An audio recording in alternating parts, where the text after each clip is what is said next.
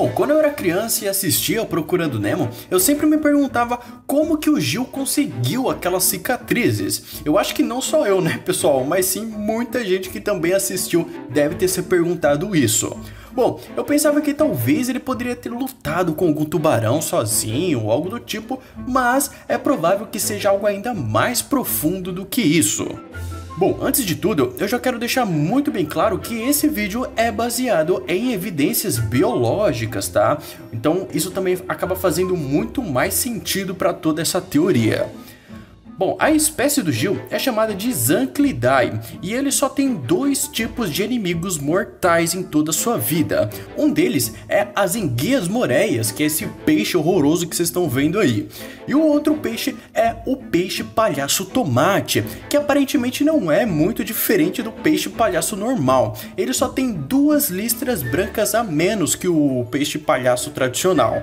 Bom, o peixe palhaço tomate, ele se parece bastante com o Nemo, né? Então se o Gil tivesse alguma experiência tão traumática assim com algum peixe palhaço, com certeza ele seria mais carrancudo com o Nemo, né? Ou seja, é, não iria confiar tanto nele, nem criaria empatia ali quando eles se conheceram, né? Então vamos descartar a possibilidade do Gil ter apanhado por algum peixe palhaço.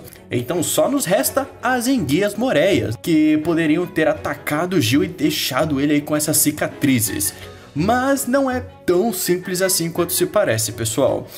Se formos analisar bem, as enguias moreias só poderiam machucar o Gil se elas fossem morder ele, porque elas não têm nenhum mecanismo de ataque, né? Ela não tem braços, garras é, em seu corpo que poderia atacar ele.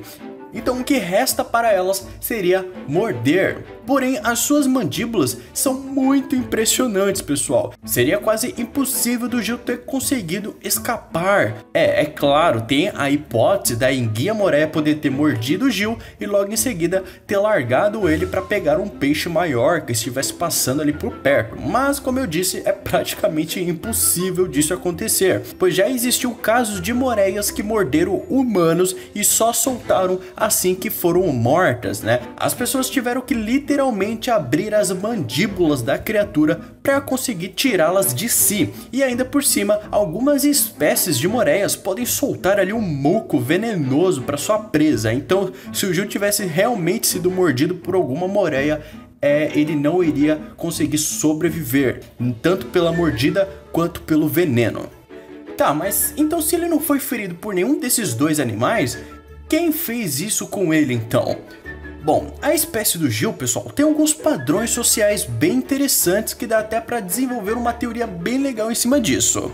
Vamos imaginar que o Gil estava em seu habitat natural, ali vagando solitariamente, né? Porque essa espécie geralmente nada sozinho mesmo, ou em pequenos grupos depois que entra ali na adolescência.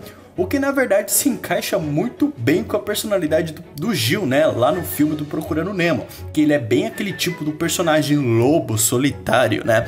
Porém, ali no final, ele quer ajudar a todos ali no tanque, porque são todos amigos dele, né? Mas enfim. Então ali no oceano eu tenho quase certeza que ele tinha sim um grupo similar de amigos da sua espécie. Bom, então certo dia, o Gil acaba se apaixonando por outra Zanclidae, e essa espécie em questão só tem um único parceiro em toda a sua vida. Olha aí que romântico, hein? E os dois iriam acabar vivendo uma vida bastante feliz juntos, certo? Mas os anclidais machos muitas das vezes gostam de mostrar agressão um com o outro, talvez não por ciúme ali pelo romance do Gil, mas simplesmente por rivalidade entre o macho e o outro da sua espécie, que acabam lutando ali pelo coração da fêmea. E nessas lutas, o Gil acaba saindo muito ferido e assim acaba ficando todo marcado aí com essa cicatriz cicatrizes. E finalmente conseguimos encontrar uma forma de explicar como é que o Gil ficou com o dano permanente daqueles sem morrer. Bom, assim com a sua nadadeira fraca, o Gil acaba se tornando um nadador fraco e logo ele acaba sendo capturado pelo aquele dentista. Agora, em cativeiro, a espécie do Gil geralmente se torna agressiva, né? Eles não sobrevivem por muito tempo. Então, esse foi o impulso para o Gil começar a bolar os seus planos com os seus amigos do tanque para conseguirem escapar dali. não dá para ter certeza se ele voltou a reencontrar o seu amor perdido, né? Pois foi apenas uma superstição isso aqui que eu criei. Mas isso nos dá uma explicação muito bem clara do porquê ele tá com aquelas cicatrizes, por que ele quer tanto voltar pro oceano e também explica a razão dos seus amigos ali do tanque ajudarem ele de tão boa vontade, sendo que eles estavam ali vivendo de boas no aquário. E você, o que você achou dessa teoria? Deixa suas opiniões aqui nos comentários de como que o Gil conseguiu aquelas cicatrizes. Eu espero muito que você tenha gostado do vídeo de hoje e só lembrando que eu separei esses vídeos aí para você assistir, então não perde tempo e corre lá para assistir, pois essas teorias também estão incríveis. E como sempre, aquele forte abraço do seu amigo Teles e até mais.